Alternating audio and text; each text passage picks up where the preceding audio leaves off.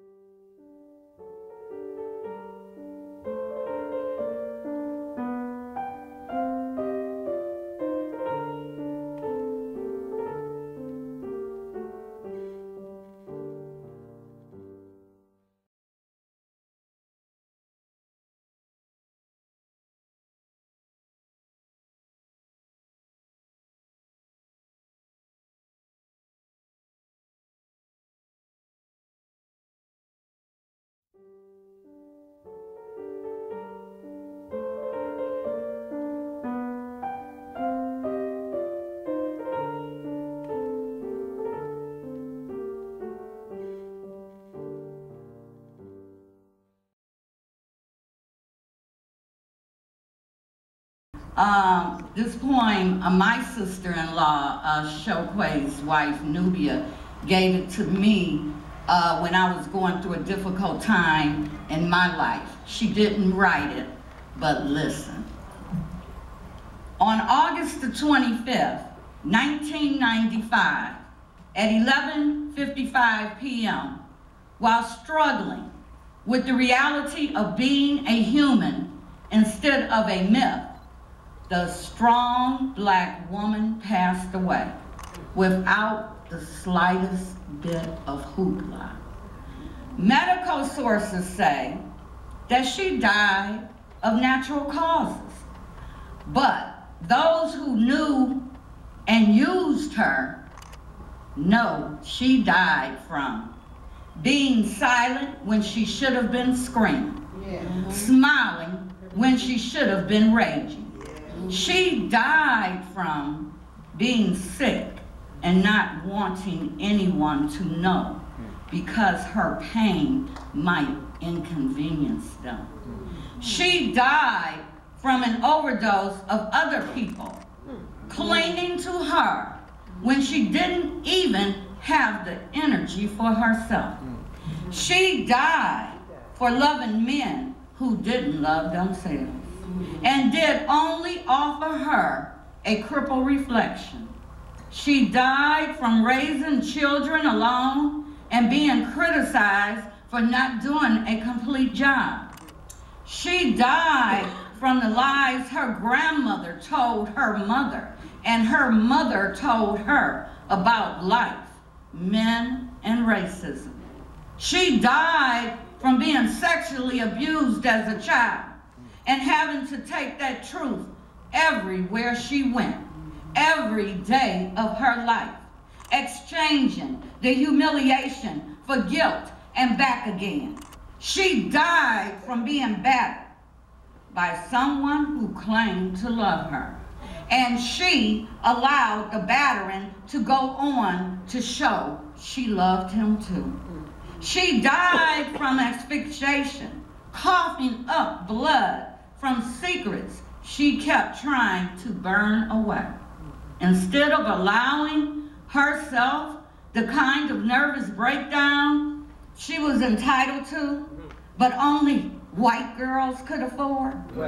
She died from being responsible because she was the last rung on the ladder. And there was no one under her she could dump on. Mm. The strong black woman is dead.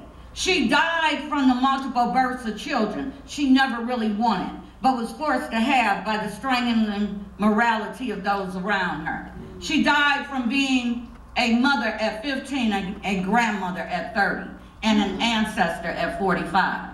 She died from being dragged down and sat upon by unevolved women posing as sisters.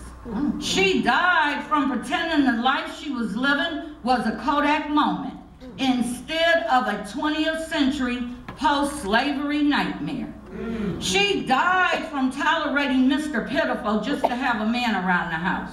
She died from lack of orgasms because she never learned what made her body happy. And no one ever took the time to teach her. She died because they belong to the, uh, eh, I'm sorry, she died because sometimes she found her arms that were tender. She died because they belonged to the same gender. She died from sacrificing herself for everybody and everything when what she really wanted to do was to be a singer, a dancer, or some magnificent other. She died from lives of omissions because she didn't want to be accused of holding the black man down. She died from tributes from her counterpart. She should have been matching her efforts instead of showering her with dead words and empty songs. She died from myths that would not allow her to show weakness without being chastised by the lazy and the hazy.